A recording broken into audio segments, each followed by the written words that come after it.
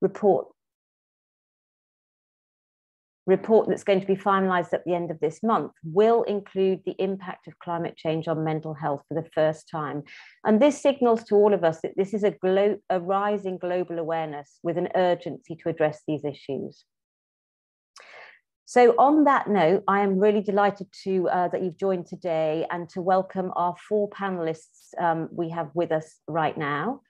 And um, I will just briefly introduce them to you, and then I'm going to ask them just to talk to us first of all about what they're doing um, in the field at the moment. So our first speaker is Emma Lawrance, who is a mental health Innovations Fellow based at the Institute of Global Health and Innovation at Imperial College London. And um, working with her is Jessica Newberry Le Vay, who is also a Junior Policy Fellow in Climate Change and Health, again based at the Institute of Global Health and Innovation at Imperial College in London. And then we're really pleased to have two um, international collaborators um, the first is Brandon Gray, who's um, dialing in to us from the World Health Organization in uh, Geneva, and he is a technical officer working in the mental health unit in the Department of Mental Health and Substance Use at WHO in Geneva. And then finally, but not at all um, least, we have uh, Tilly Alcayna, who is working at the Red Cross Climate Centre and is a technical advisor in climate and health. Um, so perhaps I could just start off, um, Emma, perhaps you could explain to us uh, your role at Imperial and, and what you've been um, working on in the field up till now. Uh, wonderful, thanks so much. Um, would you mind putting up the slides? Yes, wonderful. Okay, yeah, so, so I'm the Mental Health Innovations Fellow, uh, as you outlined, Sophia, and as part of that role, um, I lead the program Climate Cares, and we're trying to both understand and respond to these interconnections between climate change and mental health. Now, some of you might have heard about this before. For others, you might not have sort of joined the dots together, but climate change and mental health are intricately linked. So, climate change is a mental health emergency. We're hearing more and more how climate change is a health emergency, um, and the physical health aspects have received increasing attention and now mental health is uh, starting to catch up, as you said, with the IPCC report and um, talking about this for the first time. So we'll speak a little bit more about how climate change directly and indirectly impacts mental health. But another uh, aspect to this, which is equally important and maybe doesn't receive as much attention yet, is how um, the well-being of our societies and the way that we are connected and work together, the, the internal work we do um, affects the external world. So the responses that we have to climate change, whether the thoughts and feelings we have, the psychological and emotional responses, ultimately interact with how we act as individuals, as communities, as, as systems, as decision makers and policy makers. And so because climate change is ultimately attributable to human behavior, we need to understand how our psychology and emotional responses interact with how we act. Um, if you can go to the next slide. So, just to outline very briefly, um, the way that uh, climate change, as we know, is increasing uh, temperatures, uh, and that has an effect on all sorts of things that we know we're seeing more um, extreme and frequent weather events and chronic climate events like droughts. Um, and these have a range of impacts. So, when we experience, uh, or when people around the world experience extreme high temperatures directly, that has um, mental health outcomes like increasing suicide rates, more people going to hospital with symptoms of mental illness, people being more likely to die in a heat wave if they've got a pre-existing mental health condition, and worse mental health across the population, but also experiencing um, extreme weather events, uh, you know, and directly. So if you experience the trauma of a flood or a fire, that has big impacts on mental health as well. But then there are these flow on events. So if we go from sort of our left to right across this continuum, you know, we see that communities are impacted in all sorts of ways in their livelihoods, in being forced to move from their homes, in loss of habitats, in um, you know, impacts on cultures, particularly for people really strongly connected to the land, um, particularly Indigenous communities, for example, around the world. And then even onto the right, even if we're just hearing about these effects and um, anticipating them or witnessing them, that also has big uh, mental health impacts. And there can be a range of these, as is on the bottom of the screen. So we're seeing um, more distress, understandably, and this can lead to diagnosable mental health conditions. Um, and uh, sadly, also increased suicide rates in some cases. So if we go to the next slide, um, we want to outline these to policymakers. So these impacts that haven't been accounted for are accounted for in how we look at the costs of climate inaction and the benefits of action and the need to provide appropriate support, as the other speakers will discuss. But we want to go beyond that as well and see that uh, actually there are common causes to some of these um, mental health uh, challenges that our society faces and well-being challenges and the climate crisis that they're ultimately uh, we need care that's better for people as well as better for the world and these interact. So we can have sort of a vicious cycle of climate change impacting um, our health and our well-being and that affecting our ability to act but also we can have um, a virtuous cycle where we can try and transform society in ways that are really synergistic so we know, for example, that things like burning fossil fuels creates air pollution, which impacts physical and mental health. We know that if we're not connected to nature and don't have access to biodiversity, um, bad for us as well as um, that loss of biodiversity, obviously, um, uh, you know, being a, a global crisis in itself. And so you can look at these things in, in the middle that what we need to do is work towards um, cultures of care and nurturance where we have societies that are more connected to each other and um, to nature, where there's uh, cleaner environments, where there's more active transport, healthier food systems, and all of these things will be good for us and our mental health and well-being, as well as the planet, and allow us to um, take action together if we can create opportunities to, to come together. And that action in itself is helpful for some of the, the distress um, that we feel when we feel hopeless and powerlessness in the face of climate change. So we need action from leaders, we need action um, in communities to help protect our mental health and well-being and allow us to continue to cope and act in the face of the climate crisis. Um, and that's one of the things that can really help stop distress um, and understandable distress leading into uh, mental health um, difficulties. So if we go to the next slide, I'm, I think, going to hand over to my colleague Jess to talk about how uh, we at Climate Cares are trying to respond to this. Emma, thank you so much. Jessica, can I just ask you, um, briefly to introduce yourself um, to the to the group as well before you start talking about your specific pieces of work. And thanks very much, Emma. Um, I should have said earlier, um, apologies, um, that we would like you to post whatever questions you have to any of our speakers um, in the chat, and then we will get to those after you've heard a brief uh, summary from all four presenters. Thanks. Thank you, Jessica. Thanks. Hi everyone, my name is Jessica Newberry Le Vay.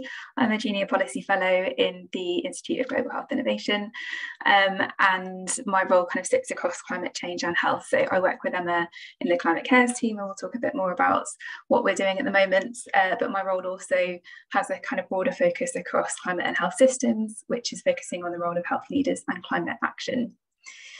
So in terms of what the Climate Cares team is and what we're doing, we're a very interdisciplinary programme. Uh, we bring together researchers, policy experts, designers, um, aiming to understand through research and support through interventions and awareness and education mental health outcomes in the climate crisis. So we have three main streams of work, firstly around uh, building the global evidence base, one around awareness and education engagement, and a third one around uh, developing supportive solutions. In terms of the uh, global evidence base, this has been a kind of number of research studies which we've um, done today and have underway, uh, which are around kind of understanding the prevalence, the nature, the severity of mental health impacts uh, from climate change, and these have been exploring areas like young people's psychological responses to climate and COVID, which started in the UK. Uh, we're now working with teams in India, in the Philippines, in the Caribbean, and the US. We've also done a meta-analysis on temperature and climate change and have studies underway looking at things like young people's perspectives on their feelings around climate change and what they want health professionals to know, uh, surveys of mental health professionals to um, aiming to understand their training needs and encourage policy action, uh, and mapping the intervention landscape in terms of awareness. Last year, we published a briefing paper which outlines the evidence on the impact of climate change on mental health and emotional well-being, and also sets out recommendations for different stakeholder groups to take action uh, in policy and practice. We're also really aware of a growing demand for more training and more guidance in this area, uh, particularly coming from mental health practitioners because they're seeing more and more cases of climate-related distress in their practice but we're also getting um, kind of increasing calls from groups like teachers and civil servants and policymakers. So we're currently working and looking at how we can be developing educational courses and resources to help meet this training need. And finally, in the intervention space, we develop interventions across the kind of individual, community, and decision maker level. And this is around kind of creating spaces where people can reflect and process their emotions around uh, climate change, imagine a more hopeful future, and also understand their own role in taking action. Our key intervention to date has been a guided journal, which has been co-created with young people in the UK as a tool to help young people process their emotions around uh, climate change and also COVID, building up things like self-care practices and envisioning a better world, um, how they can take action and so on. Uh, we've piloted this so far with young people in the UK, but would love to look into scaling it up and expanding it. And we're also exploring how we can create these kind of spaces in community infrastructures such as schools and libraries, and also at the decision maker level, wanting to create spaces to bring decision makers together across sectors and silos, um, and also creatively imagine the future they want to create. So I will stop there and hand back to you, Sarah. Thank you, Jessica. I've just got a quick question because I'm not an expert in this field and I'm absolutely fascinated by the work you're doing. How does the work you've described to us become visible? How, how do other people know you're doing this? Um, I know that's probably quite a big question, but I, I don't know if you or Emma can just briefly summarize that. No, absolutely, that's a fantastic question, and that's a really key part of our awareness stream as well, um, because a lot of the challenges at the moment are that the costs of mental health um, due to climate change are quite hidden and they're not quantified mm. and they're not known. Mm. So that awareness is a really key part, um, as is kind of building the evidence base to understand what those costs are in the first place. Um, so that's why things like our briefing paper that we did last year is around kind of making that information accessible to policymakers, um, doing things like launch events, seminars and talks and so on. Um, but, but yeah, it's very much a kind of core part of our work is wanting to increase that awareness and put it into formats which is accessible to a range of audiences like mental health professionals through our um, education and training. Thanks. Well, it, it feeds very nicely into um, Brandon, who is um, involved directly in how we're translating some of the research that you're all generating into kind of policy and, and visibility globally. So, so Brandon, do you want to um, just briefly talk to us about your background and then some of the work you're doing at, WHO, if that's okay. Sure. Thank you so much, Sarah, and thanks everyone for having me today. It's it's a pleasure to be with you. Um, so I am a technical officer in the mental health unit at WHO, um, and part of my or one of my roles, I guess, is serving as the focal point in our unit uh, for the integration of mental health and psychosocial support. Uh, MHPSS, it's a term I'll throw around a bit today if and if you haven't heard it before, it's um, referring to it's it's the term WHO and much of the humanitarian system uses to describe activities and supports to support mental health and well-being in emergency settings. Um, and I think this is very much linked to climate change and the climate crisis because within this work, we, we focus a lot on mental health and, and climate change, and we see emergencies increasing more and more because of the climate crisis. Um, I'm also a co-chair of a working group focused on disaster risk reduction and climate change within the Interagency Standing Committee reference group on mental health and psychosocial support, very long name. Uh, but it's a unique collaboration of UN, NGO, and other actors working together in, in humanitarian settings. And we're sort of progressing more and more in this area. Um, so I'll, I'll, be speaking more from the angle of um, emergency and, and risk reduction. And this is just because of uh, seeing more and more emergencies from climate related hazards because of uh, the increasing climate crisis and environmental crises. Uh, if you could go to the next slide. Thank you. So I want to tell you a bit about what we've been doing at WHO in the past few years to address the mental health impacts of climate change. Um, and we've been doing this both within WHO across uh, departments and also through WHO's role as a co-chair of this interagency group I just mentioned.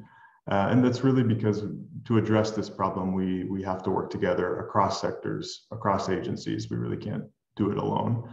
Um, in recent years, we've been ramping up activities by mapping and partnering with key actors in the field who are working on preparing for and responding to the mental health and psychosocial impacts of climate change through a lot of disaster risk reduction programs. And, and on the screen here, you just see it, just a few examples of the many projects that are ongoing globally that we're trying to learn from and also support in, in preparing for um, climate related hazards across the world. Um, if you go to the next slide. Thank you. Um, so we've also used some of the lessons we've learned from those good practices uh, just, just highlighted in the previous slide to develop an approach to respond to the mental health impacts of climate change. Uh, and this is sort of documented and then laid out in the Interagency Standing Committee's uh, recently published guidance note on linking disaster risk reduction with mental health and psychosocial support. It's sort of the first interagency multi-sectoral guidance uh, focusing on MHPSS preparedness, disaster risk reduction, and, and preparing for and responding to climate-related emergencies. Um, we also have a number of other tools that I think are relevant for preparing for and responding to and recovering from uh, the climate crisis. So these are pictured here on the screen. I won't, mention each one of them, but um, they're, they're all sort of relevant in an all phase cycle, uh, all phase approach we, we think about at WHO for uh, addressing climate change. Um, lastly, I'd say we, we're spending a lot of time in trying to raise the profile of preparing for what is to come with climate change in terms of mental health impacts. And uh, I think most recently this has been demonstrated through the, the update to the Comprehensive Mental Health Action Plan, where WHO's member states, these are countries all over the world, have, have agreed to include a new indicator on having functional MHPSS preparedness programs in place and they'll report on these in a yearly basis um, to, to describe their functionality and whether they exist or not. So it's a sort of a new commitment from countries all over the world to try to better prepare for public health emergencies, uh, natural hazards, conflicts, um, which I think there are many, many of which will increase only as we as we move forward due to climate change. So I think it's a nice development. Um, next slide, please. Uh, and this is sort of just, just the start of where we're going in this area. There are also a number of other initiatives underway. Um, we're trying to support through interagency uh, partnership, the, the intervention journals having a special section on mental health and psychosocial support and climate crisis. So how are people responding, sort of documenting effective approaches and, and contributing to building the evidence. Um, we're developing key messages and, and, sort of advocacy strategies for country level working groups who are heavily affected by climate change to, to advocate for more uh, mental health integration. Um, soon we'll be releasing a policy brief for uh, governments to, to sort of have some recommendations on what WHO would say should be done to address mental health in the context of climate change. And we're also working on operational tools and training packages to um, build capacity for preparing for emergencies, including climate related emergencies moving forward. Um, that's a quick highlight of, of, what we're doing. I'll stop there. Thank you so much.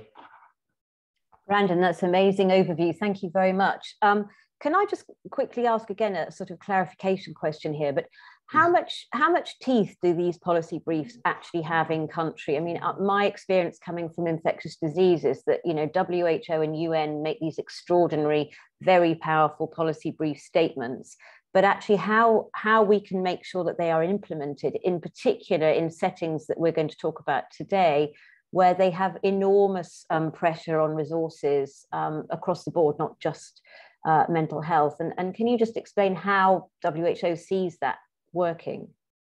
Yeah, thank you. That's a that's a key question, really. There's a lot that you can write and say in a policy brief, but how you actually do it is is the question. So I think that's what comes next. Is sort of we set out recommendations, but it's up to to WHO uh, and other partners and governments to work together on actually operationalizing what that means. So often we we do hear from governments that there's interest in, in working on certain aspects, but we need to have tools to do that. So that's where we hope to go with some of our operational packages that are in development. And um, we also hope that at least these recommendations increased investment. So from there, there, there can be a bit more action. And is there any sort of collective global initiative? For example, in, in my world, in, there's the Global Fund for AIDS, TB and Malaria, which I'm sure you're very familiar with. But is there anything like that that, that is going to look at different aspects of, of climate climate change? Um, you know, I think there that I wish. Uh, I think there are donors who are becoming more and more interested in this intersection of mental health and climate change. Uh, but there is there's not yet something like the scale of the global fund for mental health. That would be amazing. Uh, maybe someday. Maybe they need to make it broader. Mm-hmm. Okay, I won't preempt the questions. Thank you so much, Brandon. It's great to talk to you. Um, so our, our next speaker is, is Tilly, who's based at the Red Cross uh, Climate Centre, and, and she's a technical advisor there, focusing on, again, climate and health, which is very pertinent to our conversation here. Um, Tilly, do you want to um, give us a brief summary of, of your work to date? Um, and I know you've got specific questions about some of the research you're doing right now, which may well be uh, relevant for us to talk about. Absolutely. Thank you so much, Sarah. And it's really a pleasure to be with you all here today presenting some of the work that we've done at the Climate Centre. The Climate Centre, um, it's a technical reference centre within the Red Cross Red Crescent movement. And our aim is to really help the movement and the Red Cross partners um, reduce the impacts of climate change and extreme weather events on vulnerable people. And within that, we actually have quite a number of priority areas, including, for example, anticipatory action and conflict, social protection. And the team that I sit within uh, focuses on health. Um, other research that we do includes um, climate resilience of health systems, um, climate finance and health, and a lot of assessments on the climate change impacts on health.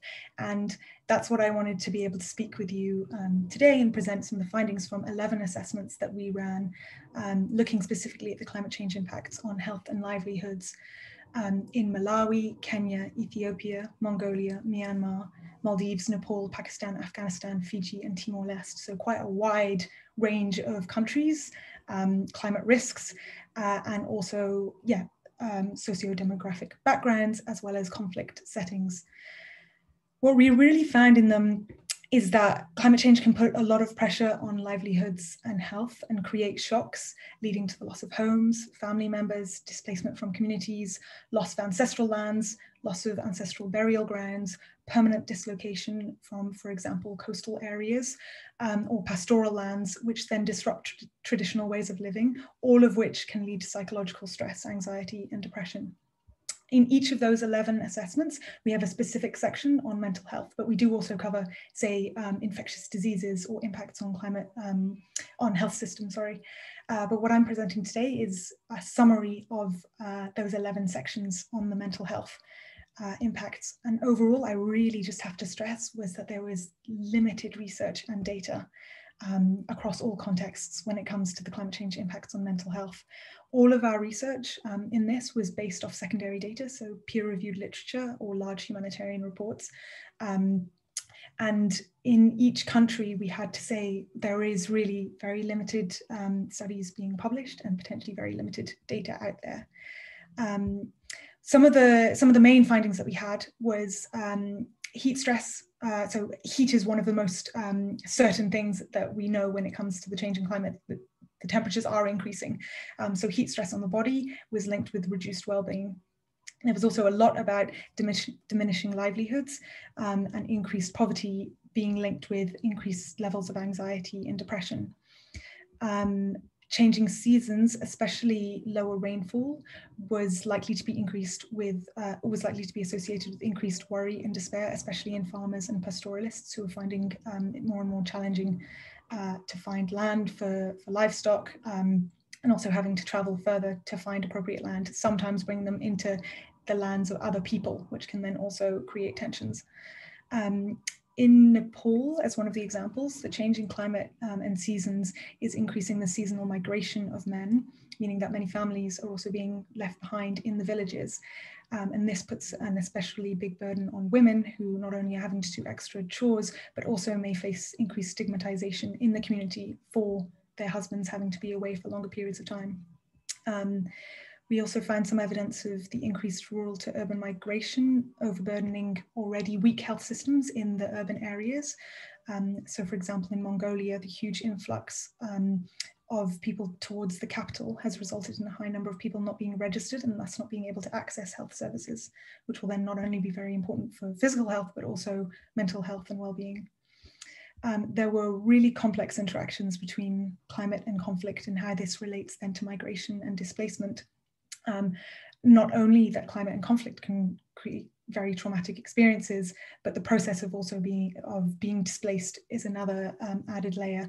And I just have to note that um, these assessments were conducted before the Taliban takeover of Afghanistan or the coup in Myanmar. So the, that aspect of the conflict is not captured um, in these in these assessments, but it links very much to cumulative shocks um, that we were finding repeated um, exposure and cumulative shocks um, reduced healthy coping strategies and was linked um, with increased levels of despair and potentially also with increased um, substance abuse, where we find some examples of reports done in some of the Pacific Islands in which after extreme weather events, there were higher incidences of substance abuse and then potentially intimate partner violence. Um, we also, for, for many of these islands, also or coastal areas, um, we're reading into sort of what does uh, relo what do relocation plans look like and what does that mean for people also. Um, and in some instances, there are forced relocation plans, and though they might be very well-meaning, may have unintentional negative consequences as people lose access to traditional livelihoods or places and spaces that they felt extremely well connected to beforehand. Um, and then that also links then with um, one of the very first points about the diminishing livelihoods and increased poverty leading to anxiety and depression. Um, so whilst I have here like managed to outline quite a few different strands, I would still stress that the, the, the evidence and data on this in a lot of the contexts that we work in the humanitarian, especially in humanitarian settings, are really, really limited. Um, next slide, please. And if you are interested in um, reading any of these reports, they are all available online at the Climate Centre. Um, and then hopefully I'll get to talk about this a little bit more, but we do have a partner almost sister centre who is a psychosocial um, centre who really focuses on mental health and well-being um, and psychosocial support uh, um, within the humanitarian sphere of, of everything that the Red Cross does. Um, and I'll direct you more towards some of their resources also. Thank you very much. Thanks so much, Tilly, and thank you to all of you, because that's a really amazing tour de force of, of all sorts of fascinating um, work that's been ongoing. I mean, again, for me, the, the idea of forcing change, I mean, perhaps I'm being overly simplistic here, is we have to identify what we think the problem might be and then look to do the research to go, were we right? Is there a problem? I think what we've heard just now is clearly there is an enormous problem. Um, and then we move to people like um, Brandon and Tilly to help us sort of implement change, uh, both through government and policy, but also through actually, you know, going out there to these different communities and looking at what they want and need. Um, the first question, and I, I just want to um, go back to you, Tilly, is you've done enormous amounts of work, and it's fantastic to see all this, all these resources. Can you just explain to us what actually happens with these pieces of information you, you have. Who who reads them and, and how can we help? Again the, the, the, it's speaking to the visibility question of, of how you you implement change once people have got to read these things first Great question. And the key question, like Brandon said as well, what is uh, translating that research into the action?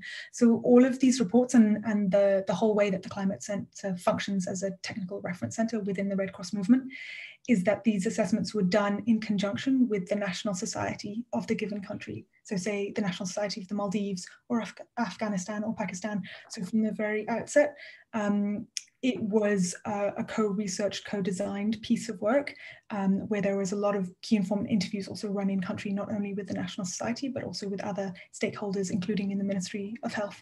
Um, to try and gather up as much information that we could, because the point of these assessments is for the national societies to use them in their own program design and moving forward when they're then when they're looking at their annual strategies.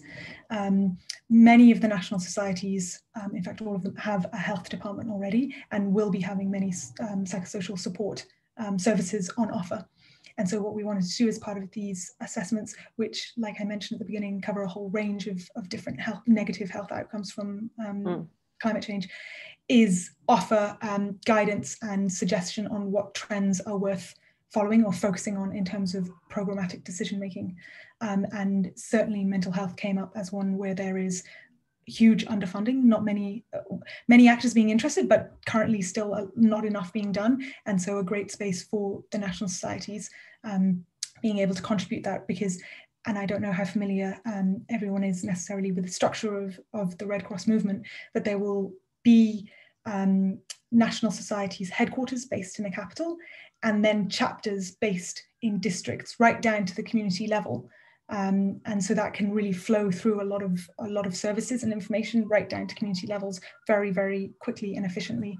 Um, and these assessments were then produced with the headquarters um, in each of the countries as well as chapter um, members of staff and, and volunteers. Uh, so hopefully yeah it'll get used in terms of those um, strategies there Thank you. Well, I, I, hope I hope this amazing work gets out there. That's why I keep asking this question. Can I move to sort of Emma and, and, and Jessica, perhaps, because you, you're pulling together sort of lots of um, broader questions in, in the work you're doing. And obviously, the other really important thing is to educate the next generation, hopefully, many of on, on this call, who are our undergraduates and postgraduates who are also going to be working in this field, I hope. But um, how, how do you find um, sort of engaging these different communities in, in to get the research going and, and get the education working? Yeah, I think again it's a it's a great question because and, and a key strand of what we're trying to do is not only better understand, but translate that into better awareness and more action. So um, just to say, first of all, it is true that uh, many people um, learning about these kind of issues at universities or in schools, like learning about the facts of the climate crisis, we're hearing that that is um, understandably causing strong emotional responses and sometimes distress. That without the right support and without um, the sort of uh, sort of mental health expertise, almost skill sets going around that uh, educational piece about climate change or about climate change impacts is then becoming overwhelming to the point that people are saying, well, maybe I don't want to work in this space. You know, how do I equip myself to actually continue to um, do this research or embed this into my into my career into my work how do i navigate this um, and of course that reflects you know what we're people who are aware about the facts of climate change just within society in general are sort of grappling we're all grappling with these sort of emotional and psychological responses. So there's clearly a need um, within all of the educational parts of you know learning about climate change in any setting which is you know we need every career to be a climate career moving forward to embed this across the whole societal transformation. There's a clear need to think about how do we equip people to to cope with this and how do we equip people to act and the big part of that action is that we need people to connect, and that can help with um, coping, but also help with with acting. And we need to connect to these more hopeful narratives as well around what um, you know that there are many things that we can do to create hope through our actions. So what we're trying to do in terms of um, raising that awareness and, and education is to develop the resources that can be used and can be slotted into these different communities, whether it's resources for parents, resources for teachers, resources for um, university educators, resources for um, mental health professionals, you know, and the the key thing is to have those be agile so that they can be can be used used by different groups. But again to um, help people go through that process of reflecting themselves um, imagining that world they want to see and, and giving them the tools um, to be able to act as well because that action both uh, collectively um, and at all all levels of all systems is is what's needed.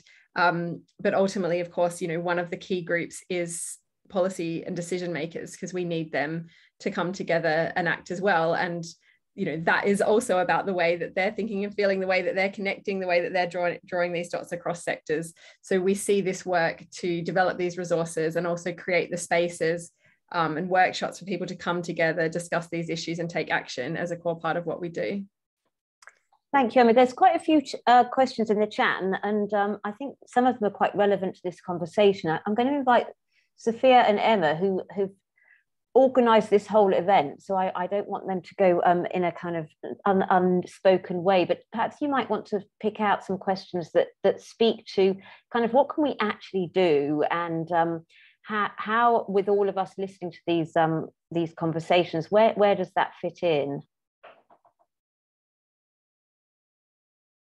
Yeah, hi everyone. Um, so uh, we have had a few different questions coming in.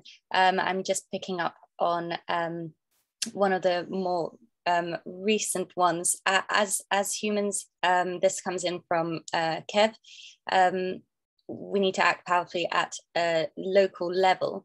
Um, so what, what does that flow look like on the ground um, so that so that we can apply that in the UK uh, in terms of a, a bottom up over top down kind of policy? Who, who might want to answer that? I, I, I don't know, maybe um, Emma, did you say you wanted to, or, or I was just thinking of, of uh, Jessica or Tilly as well, but perhaps Emma, do you want to start? I'm, I'm happy to add to some you know i just spoke so if someone else wants to jump in and i can add something that's I can just jump in quickly about um, that bottom up approach is so important about learning from communities that are already doing a lot of this, and that needs to be really central to decision making processes. So, for example, Indigenous communities are some most vulnerable to the impacts of um, on their mental health and climate change, but also have such valuable insight to share about how to mitigate and how to adapt to the effects of climate change. So, putting those experiences as really central in those kind of policy making, decision making processes is absolutely essential. Um, and that goes for all of the voices of the people who are most vulnerable and do have lived experience of those mental health impacts. Um, and that is as I was talking about, kind of creating those spaces of linking communities and linking decision makers and creating those spaces to kind of share that and hopefully reimagine how we can make those um, those decisions. That's very much something that we we hope to to help with. Jessica, when you say decision makers, who is that? Who is that person? It can be so many people, and that's part of the the challenge is that so many people are decision makers, but they're operating in silos, whether that's around mental health policy or climate policy, and there's not enough kind of dialogue happening between them. And there are so many policies that can have so many co-benefits for climate and mental health, but that can't ever happen unless people are talking to each other across sectors, whether that's um, kind of leaders in communities, leaders in government, working across health or transport or energy. Um, that's the, the real challenge where you know there, there are so many players in this, but there's just not enough of them talking to each other. And, and Tilly, do you have any experience from your work in, in you know the, the Red Cross sites that you've um, shown us some of the, the work you've been doing? Do you how do you feel that those communities themselves um, understand what's available to them. Yeah, absolutely. And I'm sorry if I, before I suggested a much more unidirectional approach um, within the Red Cross movement. It, it's anything but that um, by by all means, because the volunteers are are from communities, and this is the same case in the UK also.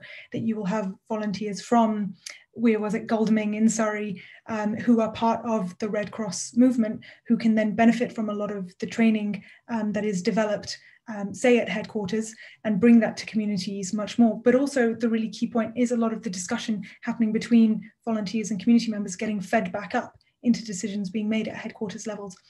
And so some of the things that I have seen that volunteers have been involved in are talking circles, for example, or also um, lots of awareness raising amongst communities where access to information on climate change impacts might not be as easily available as it is for us here. Um, a lot of um, involvement in schools and getting kids involved.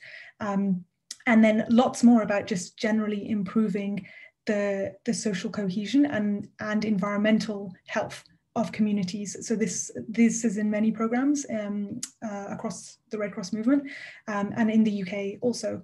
And so I would just uh, yeah, if there is interest, definitely look up local um, local volunteering options, being able to check up on neighbours, checking up on vulnerable um, elderly populations or, or anyone that maybe doesn't isn't able to get out as easily or go to other the groups and um, and just mobilize as much as possible. That is really what the Red Cross is is trying to do through its volunteer movement and staff. Mobilize as much as people as possible to be aware and to be able to take the action that they can at the scale that they can with the resources available. Thank you, Tilly. Um, just moving slightly, there's a couple of questions that maybe I'll, I'll address to you, Brandon, if that's okay, uh, about, again, this, this really key piece of, of kind of translating the, the evidence and the research and the emotion into policy and actually so one one asks given it's such a cross-cutting issue how does the who work with other un agencies and institutions including universities to join up and enhance what you're doing and uh, there's another question similarly, Brandon, that goes, do you think policy and decision makers have much understanding of climate feedback loops and, and what's going on? Thank you both uh, interesting questions and difficult ones, but I'm happy to try to address them. So at WHO, we, we play a, a coordinating and a convening role, but we, we never do things alone. And that's that's key. Uh, we work a lot in this specific area through the Interagency Standing Committee, which I'd, I'd mentioned earlier. It's a large collaboration of 60 organizations, uh, UN agencies, NGOs, Red Cross, Red Crescent societies, uh, and academic partners, where we sort of convene together an interagency approach to addressing the mental health impacts of climate change. So um, WHO co-chairs this along with the International Federation of Red Cross Red Crescent Society. So this is one way we work we work together, I think, with partners, and that's really the only way to do this. Um, a lot of the work within that that uh, collaboration is about emphasizing the cross-cutting nature of mental health. Uh, we we I think this has kind of already been said a few times, but we really try to emphasize how it's not just mental health in the health sector or protection or education it's really relevant across sectors. And that's extremely true when we talk about climate change action, uh, mitigation, adaptation. Mental health plays a role in, in, in, a lot of the different sectors that are relevant. So people need to talk together, as Jessica was saying. Um, it, it, can't be a siloed approach, and, and I think we recognize that. Um, the, the, second question about uh, do, do governments recognize um, climate feedback loops, correct? Um, I think that's a tough question. I think some do, and some are, are still learning. Um, but that's part of part of our effort is to really raise this awareness uh, to try to cr- increase investment in mental health um, by sort of demonstrating what there is in in the in in the literature. Um, I think policy briefs are one way of doing that because they distill massive numbers of papers into five ten pages. Um, Emma's work has been very nice on, on their policy brief in doing that and showing the the impacts. Uh, and I think that there's a big value there and, and showing why this is important. There's a lot more to be done though. There's a lot of advocacy to be done and events like this are important. Um, events on, on global stages like the COP26, for example, there were some conversations around mental health and climate change, some for the first time. Um, so it, it's gaining recognition, but there's more to be done.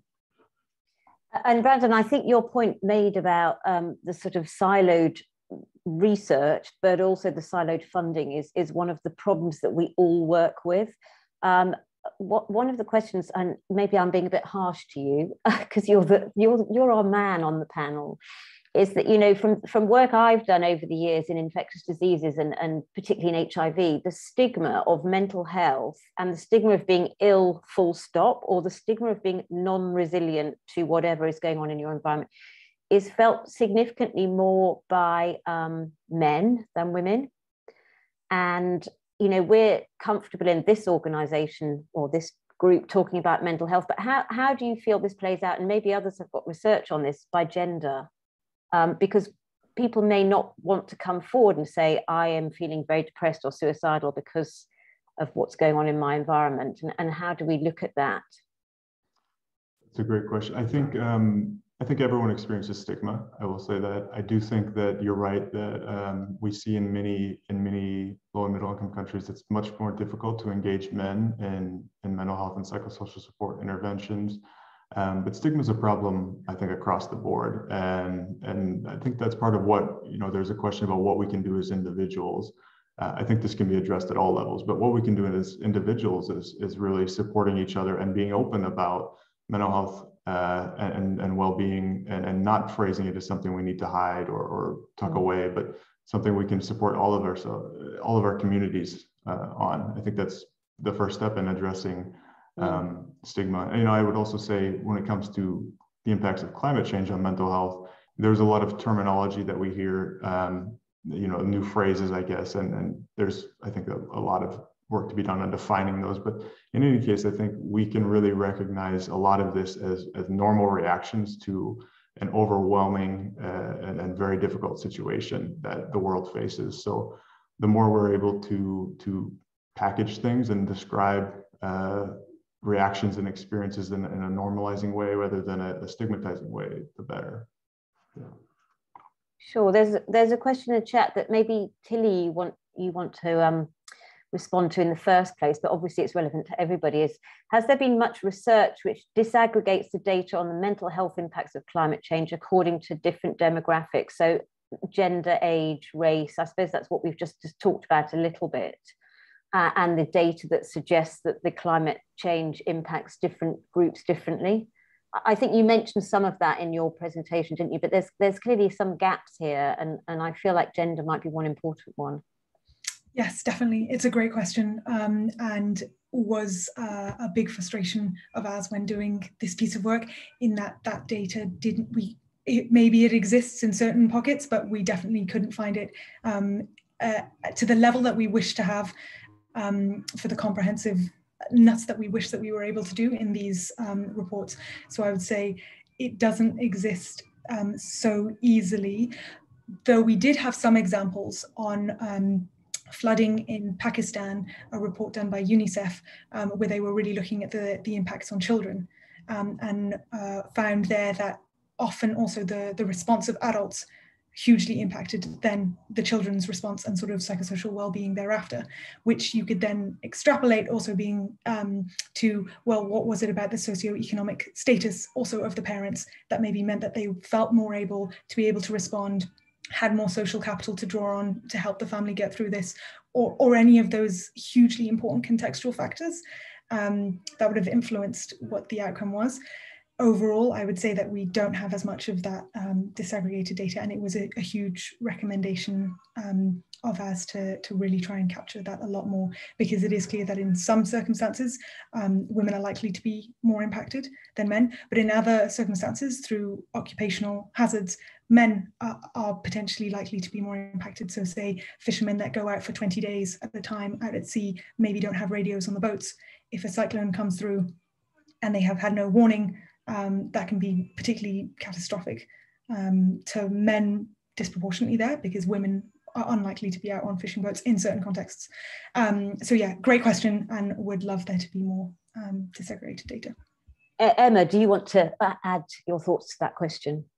Yeah, just just quickly to add that, yeah, I agree. More data and evidence is needed, but we do know in general, in you know, in disasters um, and the ones that climate change uh, exacerbates as well, that it is often women and children who bear the greatest burden. And um, we also know that, of course, climate change exacerbates inequalities massively, including inequalities in mental health um, around the world. So people who already have um, pre-existing mental illnesses are more likely to be affected they're more likely to die in a heat wave they're more likely to have worsened mental health um, through uh, these either climate change induced mm. um, threats and impacts and uh, yeah and so similarly we also hear a lot that well is climate um, sort of anxiety and distress around awareness of climate change is that something that's only where you you're worried about that if you don't have other worries that you're worried about that if you're in a rich country actually more than if you're directly affected. And we see that the data says that's not the case. So the biggest survey um, to date around uh, emotions and um, worries around climate change and the impact on the lives of young people globally and other um, relevant research studies has shown that it's the countries where people are most affected. So countries like the philippines actually seem to have the highest level of like worry and distress and strong emotions and worries around their future, understandably, because of climate change. Mm. So, this distress is not just coming from um, people who don't have something to worry about. It's understandably stronger in people who are already seeing this um, happen before before their own eyes. I, I, suppose there's a sort of unfortunately there has to be some degree of hierarchy and and perhaps if we can disaggregate the data if you're a government and you're challenged with where do you put your diminishing amount of available resources if you have data from the research communities that can say these are the populations that are much more vulnerable i mean stating the obvious everybody's vulnerable but these are the populations that are perhaps more vulnerable I, I don't know. I, am making that up. Is that something, Brandon, that you feel that would be useful for for in country sort of you know directives? I mean, you know, we it's again a balance of not overwhelming, but at the same time going, let's be rational and and pragmatic here. Yeah, I think that's key. Um, I think particularly in many low and middle income countries that we know are more heavily impacted by climate change typically. Mm. Um, I think though I would say with mental health, investment is a problem no matter where you're looking. Uh, in, across the world, we know there's only about 2% of health budgets from governments on average are spent on, on mental health expenditure. Um, and, and that's a, a major problem. Um, so I think when we talk about investing in mental health, some of the same problems we see in, in general development of mental health systems is, is contributing here as well. Um, so, so prioritizing groups, prioritizing areas, working to to capture at least the, those things you can is, is key. Yeah. And just to ask Jessica, just uh, from the research side of it, has anybody looked at uh, the economic impact? So if you only have 2% of your budget for mental health and you had an argument to say, okay, let's make that 10%, is, uh, are there key outcomes for a government that goes, look, guys stay in school, people work better? I, I don't know, but you know, those are things that we might find more evidence to support um, investment? That's a great question, and having economic arguments is always helpful for policymakers. so, absolutely, I don't know how much is there that way around, and Emma might be able to add more to that. Uh, more of the economic side I've seen is more about what we know that climate change has massive disruption to health systems. So mm. that's going to only increase the economic burden um, and increasing by increasing the mental health burden, therefore also increasing the economic side. So I've only seen it that way around, not the other, but Emma might be able to add. Yeah, sure. Just to quickly say, it is a big gap that we haven't fully quantified this hidden, huge, significant cost of climate inaction on mental health. Um, and vice versa you know the the benefits of action are not for mental health and well-being and not being accounted for in sort of climate policies and mental health policies. Um, but we know there's loads of evidence that uh, investment in mental health has huge returns and mm. an investment in prevention investment in early intervention has huge returns and so but a lot of those things we need to do to prevent mental health difficulties in the first place um, like having uh, better community psychosocial support more connected communities healthier environments these sort of things um, we know sort of align with climate action and are synergistic with climate action but they also uh, will be disrupted by climate change. So again, you know, we need to take these things into account together. And I think that just leads into um, a question that's really been in the chat around the sort of intervention space and investing in interventions and what we what we know. And we know that there are examples where people are training, um, you know, community health workers to be more aware of this and and um, actually seeing that uh, the effects of climate change on communities are a way in to talk to people about mental health and well-being in situations where they might have otherwise stigma around talking about um, how they're feeling. But when something's happening maybe the community is more open to talking about that. So there are examples of, of people training communities. There are examples of um, communities saying you know there is this need we need to create support. So, after a wildfire, coming together and creating ways for communities to talk together, to provide support for each other. Um, there are lots of programs like Force of Nature, the Good Grief Network, Susty Vibes in Nigeria, that's a, a youth um, sort of support and action program. There are these great examples around the world, but we just need to bring them together and better evaluate and better scale up, which is something that we are working on um, at Climate Cares in, in um, kind of mapping that space and trying to also create infrastructure like networks and hubs and the things we've been discussing to showcase that back to everyone else and share that learning. Um, but yeah, again, the, the funding for that has been challenging because there is you know funding is occurring in silos as it so it's all kind of a chicken and egg problem a bit at the moment but just to say there are these examples and when we take action together as communities there are you know economic benefits that need to be quantified but there's also you know we just see that there's it's a, it's a virtuous cycle of being able to better cope better act um, and and that we can really transform societies in the directions that we want to go Thank you. And uh, I'm, I'm suddenly worried that we're about to end as we've got really interesting questions coming through. So Brandon just quickly um, commented, do you want to just speak your comment about the funding side? Sure, I, I can just say um, generally, WHO has good estimates on return on investment in uh, care for common mental health conditions. And we know uh, about on average, it's every $1 spent on, on that care returns about $4 in, in increased productivity. Um, there's a lot of estimates we've done on how you could actually provide uh, basic care for common mental disorders like depression, anxiety, for as low as four, three, four or five dollars per person um, there's there's good economic modeling, I think, generally on uh, care for mental health conditions. Now, when it comes to climate change, I think that's very difficult to to do, but it'd be interesting to see what the cost of inaction is there as well. Uh, I'm sure it's quite high. You know, we know generally just depression and anxiety alone cost the global economy about one trillion dollars every year. So um, I'm sure it will just only increase with with climate change. So just to, to finish off, I've got one question that I'd like each four of you to answer now, which is what are you most hopeful about in the achieving the SDG 3 that we've just had a very brief talk to um, today in the next year? I don't know who wants to start. Tilly, perhaps you can start with that. I think what I'm most hopeful for, and maybe this is, yeah, taking it right back to like a personal um, layer is having many, many more of these discussions, having these discussions on platforms here, having these discussions with colleagues um, throughout for, for me within the Red Cross Red Crescent movement, um, and really taking the action at that local level. So I really appreciated um, that question a lot because I do also fully agree that the more we can do at the grassroots, the more we will see shifts um, up at the big policy levels um, and I think that there has been a huge, just in the, the time space that I've been working on climate change and health, I think that there has been a huge shift towards taking mental health seriously and, and thinking about well-being. Um, so I'm really pleased with that.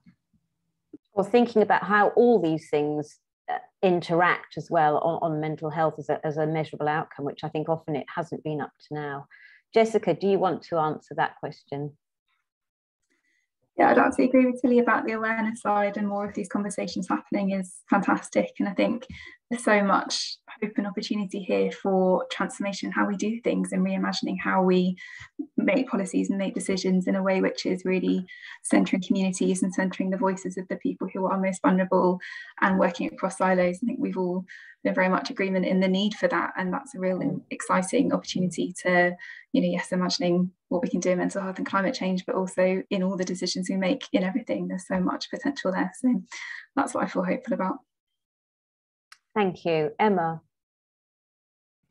Yeah, thanks. I think um, it is really exciting that more of these discussions are happening and awareness is growing. And when you talk about sort of measuring that, I think that people are embedding well-being into, you know, I know that OECD is creating well-being frameworks to embed that as sort of a unifying North Star across all of these kind of policy decisions and changing the way that we measure success. Um, and, you know, the Lancet uh, countdown on, on health, looking at how, how climate is impacting health, is developing metrics to measure the mental health impacts for the first time. So I think this is starting to change. Um, and I think we know there are things that we know that, uh, you know, not me, but other mental health professionals, um, you know, people working across the human sciences know in terms of how we can better equip communities, how we can support communities to cope and act. And there's a lot of expertise in the grassroots level of communities around the world who are already doing this, who are already supporting each other to cope and act. And so I mm. think with the right, if we can get that to translate into funding and support, then I think there's a lot of opportunity to um, bring that learning and that knowledge together and, and um, and create resources and toolkits that can help this kind of spread through current uh, community infrastructure. So we're not reinventing the wheel, but we're supporting schools, universities, health systems to be able to embed this and, and create those spaces for people to come together because we know people want to act. We know that people care about climate change much more than they think other people do. Um, but it's creating those opportunities. So we align that uh, that action we connect people and that is going to be so good for mental health and well-being mm. as well as um, you know creating that social fabric to to cope with and act on climate change Thank you. And, and lastly, Brandon, I, I mean, I think it's been incredibly helpful to have this spread of you all uh, with your different perspectives. And thank you for joining. So just for, from our point of view, what do you feel is, is the most hopeful way we can think of in the next year even to, to achieving the SDG 3? Thank you. I, think we're I think we're a long ways from SDG three and three point four specifically as it relates to mental health promotion. But I think we've said it. The, the agenda is really increasing, and we're seeing more and more attention now as it comes from governments. Uh, in in the World Health Assembly last year, there were an incredible number of countries who were speaking about mental health for the first time. Uh, so the profile is is really raising and it's continuing to raise. Um, it happened again in WHO's executive board meeting this this January, where again, just countries we've never heard talk about mental health before are speaking about its importance and talking about investment. And uh, I think it, it's a, a, massive reason for hope uh, in moving forward. Thank you. And I just want to thank everybody who's put uh, comments and questions into the chat. And I'm really sorry we haven't had chance to get to them all. But what I like is the one at the end where it says that we've all got to look after each other, uh, adaptation to mitigation and keep going, keep strong, and let's just keep talking. Um, I just want to thank all of our panelists. It's been an incredible um, hour to have these really interesting conversations, and let's hope we can keep working together. And in particular, I just want to thank Sophie and Sophia, who've pulled all this together, and it's part of their master's communications in science, but they've done a great job. Um, and so thanks, thanks to everybody who's joined our call. And thank you to you, Sarah, for being an amazing chair. Great. Speak soon. Thanks very much, all. Thank you, everyone. Bye. Everyone.